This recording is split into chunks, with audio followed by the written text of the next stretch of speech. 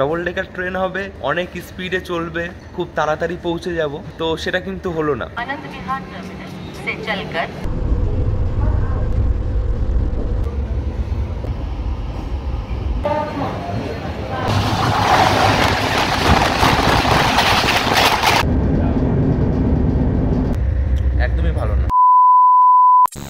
Hey hello বন্ধুরা, কেমন আছো সবাই? আশা করি সবাই ভালো আছো, সুস্থ আছো।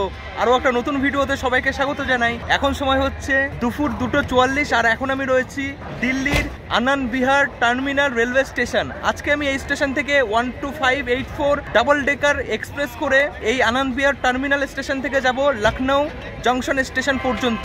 আমি দোতলা বাসে চড়েছি, কিন্তু দোতলা ট্রেনে কোনোদিন চড়িনি। তো আজকে আমি দোতলা ট্রেনে জার্নি করব। বন্ধুরা, আজকে আমাদের ট্রেনের টাইম ছিল দুটো পাঁচে। কিন্তু কোনো কারণের জন্য আমাদের ট্রেনের টাইম আজকে রিশিডিউল করা হয়েছে। তিনটে পনেরোতে আমাদের ট্রেন ছাড়বে এই স্টেশন থেকে। তো চলো, সমস্ত কিছুই আজকে আমি তোমাদের দেখাবো যে এই ট্রেনের ভাড়া কত আর এই ট্রেনে জার্নি করে কেমন মজা হয়। তো চলো, স্টেশনের ভেতরে যাই আর দেখি কত নম্বর প্ল্যাটফর্মে আমাদের ট্রেন দিয়েছে।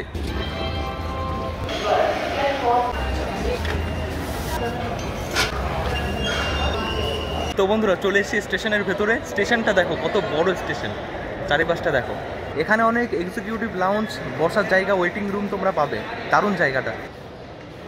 আমাদের ট্রেন দিয়েছে ছ নম্বর প্ল্যাটফর্মে এটা হচ্ছে এক নম্বর প্ল্যাটফর্ম আমাদের যেতে হবে ওদিকে।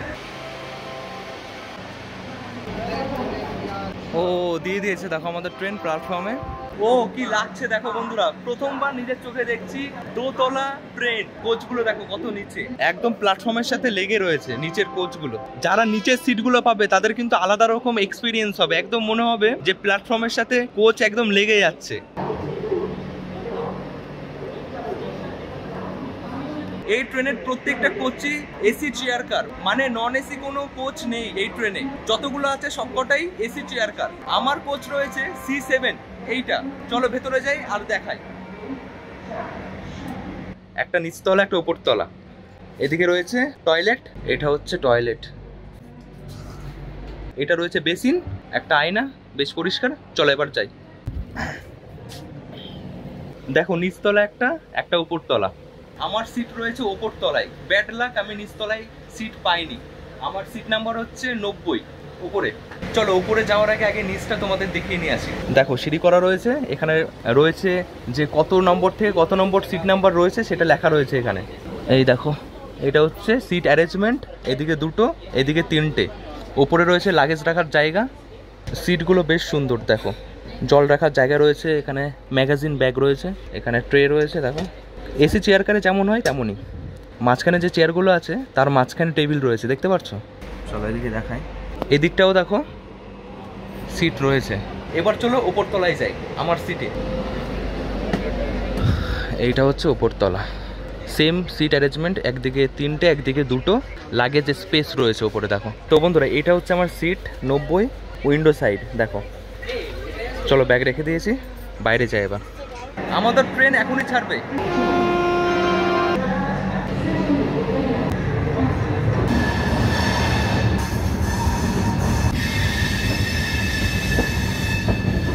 বন্ধুরা ট্রেন তো আমাদের ছেড়ে দিল। আনন্দ বিহার থেকে লখনৌ যেতে মাঝখানে আমাদের এই ট্রেন দাঁড়াবে তিনটে স্টেশনে।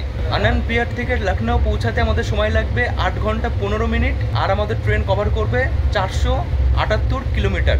ট্রেন কিন্তু একদমই ফাঁকা ফাঁকা যাচ্ছে, বেশি মানুষ নেই।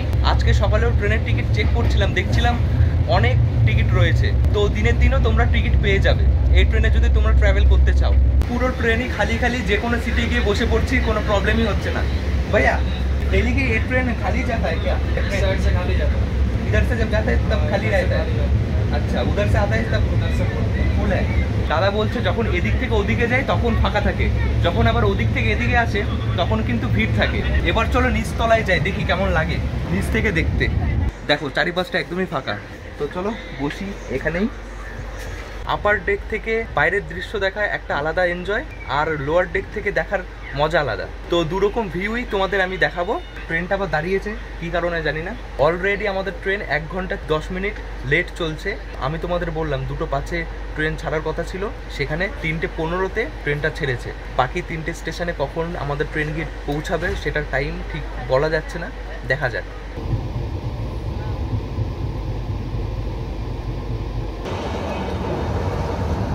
এই ট্রেনে তোমাদের একজনের ভাড়া পড়বে ছশো পঁয়ষট্টি টাকা। মানে ছশো পঁয়ষট্টি টাকায় তোমরা আনন্দ বিহার টার্মিনাল থেকে সোজা চলে যেতে পারবে লখনৌ জংশন স্টেশন পর্যন্ত।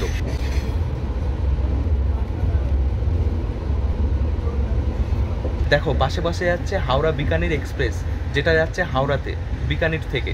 আর আমি দেখো রয়েছে একদম চাকার কাছে। আমার সিটে বসে একদম এই ট্রেনের চাকা দেখা যাচ্ছে, এতটা নিচে।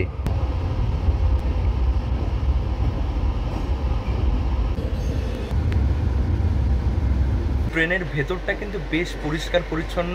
সিটগুলো বেশ কমফোর্টেবল আছে, বেশ আরামভাবে বসা যাচ্ছে। আর এদিকে দেখো কার্টন রয়েছে। চাইলে তোমরা এটা বন্ধ করে দিতে পারো। এদিকে চার্জিং এর পয়েন্ট রয়েছে। আর প্রত্যেকটা সিটের সামনে কিন্তু যথেষ্ট জায়গা রয়েছে পা ছড়িয়ে রাখার জন্য। সপ্তাহে চার দিন এই ট্রেনটা চলে। মঙ্গল, বৃহস্পতি, শুক্র, রবি। যদি ঠিকঠাক টাইমে আমাদের ট্রেনটা চলতো, তাহলে সাড়ে দশটার সময়ই আমরা লখনৌ পৌঁছে যেতাম। কিন্তু ট্রেন তো লেট আছে, তো কটার সময় পৌঁছায় সেটাই দেখার বিষয়। ট্রেনটা বারবার থেমে থেমে চলছে, মাঝে মাঝেই দাঁড়িয়ে পড়ছে।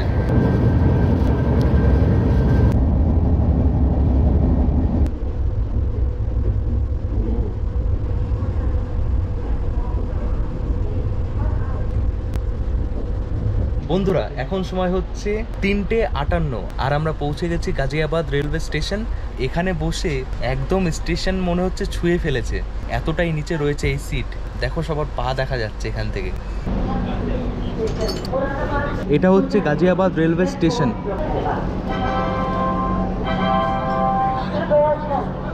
এই গাজিয়াবাদ স্টেশনে আমাদের দু মিনিটের হল্ট ছিল, ছেড়ে দিয়েছে আমাদের ট্রেন। এখন কিন্তু আমরা দিল্লি ছেড়ে উত্তরপ্রদেশ রাজ্যে প্রবেশ করে গেছি। এই শেষ হয়ে গেল আমাদের স্টেশন। কতগুলো লাইন দেখো এখানে? পরপর সব মালগাড়ি দাঁড়িয়ে আছে।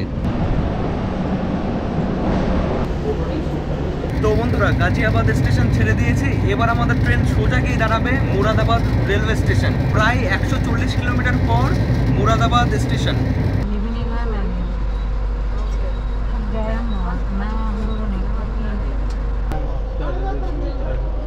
বন্ধুরা এখন আমি বসে রয়েছি আপার ডেকে আর আপার ডেক থেকে দেখো কেমন লাগে। ট্রেনের ছাদ দেখা যাচ্ছে একদম। এত উঁচুতে আমি এখন রয়েছি বসে। লখনৌ পৌঁছাতে পৌঁছাতে রাত হয়ে যাবে, বাইরে তখন কিছুই দেখা যাবে না। তো এখনই ভালো করে তোমাদের সব কিছু দেখাবো।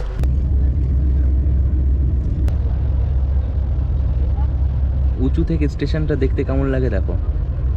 অনেকটা উপর লাগছে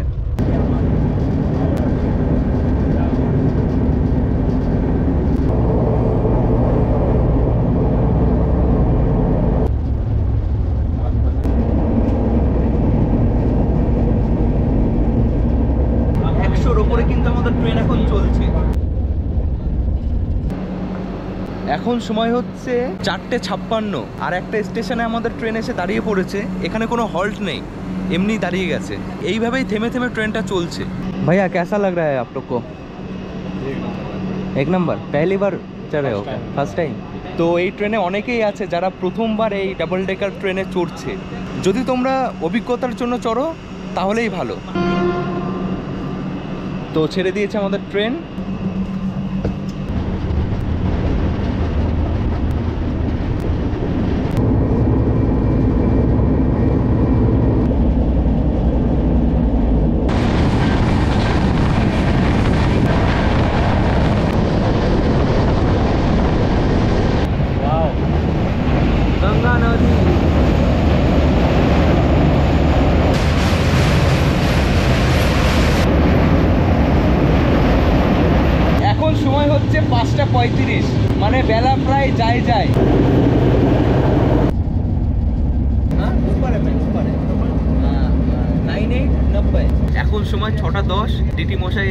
টিকিট চেক করে গেল।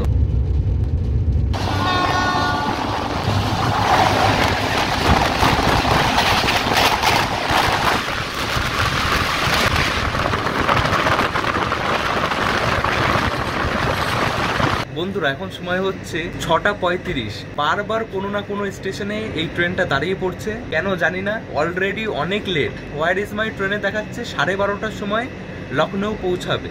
কি হবে জানি না। এই ছাড়বে এখনই।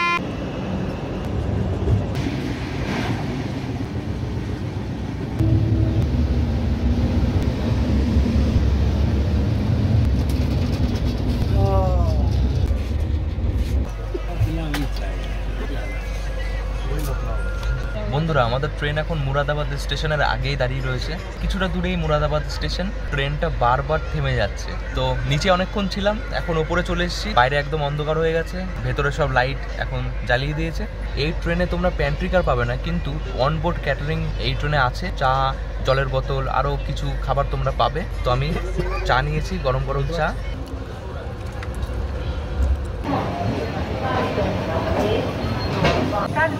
তো বন্ধুরা এখন সময় হচ্ছে সাতটা পনেরো আর আমরা পৌঁছেছি মুরাদাবাদ জংশন স্টেশনে।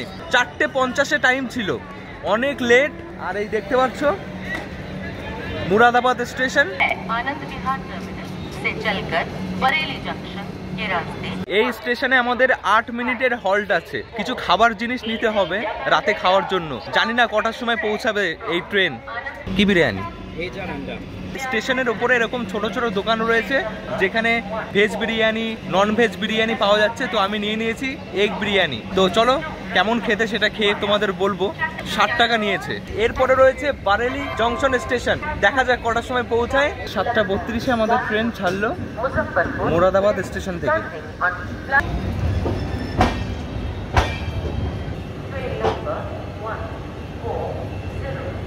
Standing on platform এখন সময় হচ্ছে নটা পনেরো আর আমরা পৌঁছে গেছি বারেলি জংশন স্টেশন। এই দেখো, এক নম্বর প্ল্যাটফর্মে আমাদের ট্রেন এসে ঢুকেছে। ছটা পনেরোতে টাইম ছিল এই স্টেশনে ঢোকার, আর নটা পনেরোতে ঢুকেছে। তিন ঘণ্টা লেট ওই যে ছেড়ে দিয়েছে, চলো।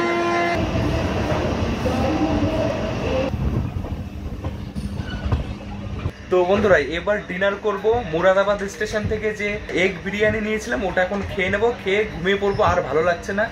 অনেকক্ষণ ভাবছিলাম ঘুমাবো ঘুমাবো। কিন্তু তোমাদের এই স্টেশনটা দেখানোর জন্য জেগেছিলাম। মানে ক্লান্ত লাগছে খুব। এত মানে শর্ট ডিস্টেন্স জার্নি ট্রেনটা লেটের জন্য এত বড় হয়ে গেছে। প্রায় পৌঁছানোর টাইম হয়ে গেছে। আর এখনও আমরা কেবল বারোলি জংশন পার করলাম। এখনও কতটা পথ বাকি আছে?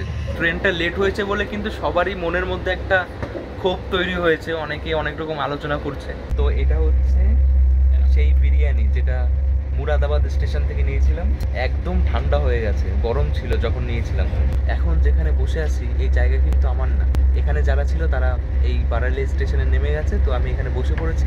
এটা এখন খাব, বেশ সুন্দর একটা জায়গা। এত বড় টেবিল, বসে খেয়ে নেব। তারপর ঘুম। তো এই যে হচ্ছে মুরাদাবাদের বিরিয়ানি, দেখো। এর মধ্যে সোয়াবিন রয়েছে, এই যে সোয়াবিন। আর রয়েছে এগ বিরিয়ানির কালারটা দেখেছ? লাল, হলুদ। এত ঠান্ডা হয়ে গেছে, এমনি তো ভালো না, আরও বেশি ভালো লাগছে না। একদমই ভালো না। এই বিরিয়ানি কিন্তু ট্রেনেও বিক্রি হচ্ছে সেম ট্রেনে যেটা বিক্রি হচ্ছে, ওটা একশো তিরিশ টাকা করে নিচ্ছে। বুঝতেই পারছ? তো চলো খেয়ে নিই, আর বেশি বকবো না।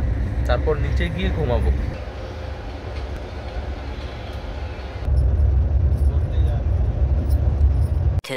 Thousand years later.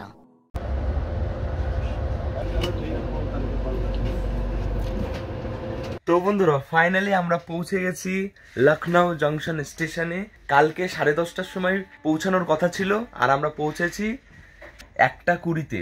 তো প্রায় তিন, সাড়ে তিন ঘণ্টা লেট এই দেখো, এটা হচ্ছে লখনৌ জংশন স্টেশন পাঁচ নম্বর প্ল্যাটফর্মে আমাদের ট্রেন এসে দাঁড়িয়েছে। কিছুদিন ধরে আমি যে ট্রেনে উঠছি, সেই ট্রেনটাই লেট হয়ে যাচ্ছে, কেন জানি না।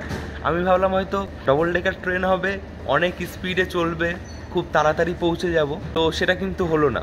এই ট্রেনটা আবার সকাল চারটে পঞ্চান্নতে এই লখনৌ স্টেশন ছেড়ে যাবে আর পৌঁছাবে বারোটা পঞ্চান্ন পিএম তো চলো, স্টেশনের বাইরে যাই। তোমাদের দেখাই লখনৌ স্টেশনটা কেমন আসলে।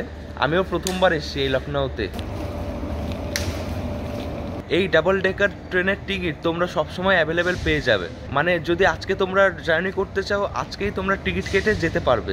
অনেক টিকিট ফাঁকা থাকে। আমার মনে হয় এই ট্রেনটা এতই লেট করে টাইম মতন পৌঁছায় না। তো সেই কারণেই হয়তো এই ট্রেনে বেশি লোক যেতে পছন্দ করে না। এই দেখো, এটা হচ্ছে ওয়েটিং রুম বন্ধুরা, চলে এসেছি স্টেশনের বাইরে। দেখতে পাচ্ছ, এটাই হচ্ছে লখনৌ জংশন স্টেশন। বেশ বড় একটা স্টেশন, দেখো। সামনে রাস্তা রয়েছে, অনেক দোকানপাট রয়েছে, আর এদিকে রয়েছে স্টেশন। তো বন্ধুরা, আজকের এই ভিডিওটা তোমাদের কেমন লাগল? আমার বেশ ভালোই লেগেছে, যদি ঠিকঠাক টাইমে পৌঁছাতো, ভালোই লাগতো। কিন্তু টাইমটা একটু বেশি নিয়ে নিয়েছে, তাছাড়া এমনি এক্সপিরিয়েন্স ব্যাপক। একটা নতুন অভিজ্ঞতা, দুতলা বাসে চড়েছি। এইবার দুতলা ট্রেনেও চললাম বেশ ভালো লাগল। তোমরাও চাইলে কিন্তু একবার এই ট্রেনের জার্নি করে দেখতে পারো। কিছুদিন পরে হয়তো এটা বন্ধ হয়ে যেতে পারে। কারণ হাওড়া থেকেও কিন্তু আমাদের পাটনা পর্যন্ত ডবল ডেকার ট্রেন চলতো, যেটা এখন বন্ধ হয়ে গেছে। তো যাই হোক, আজকের এই ভিডিওটা তোমাদের কেমন লেগেছে অবশ্যই কমেন্ট করে জানিও। দেখা হচ্ছে আবার নেক্সট ভিডিওতে খুব তাড়াতাড়ি। সবাই ভালো থেকো সুস্থ থেকো সাবধানে থেকো। টাটা।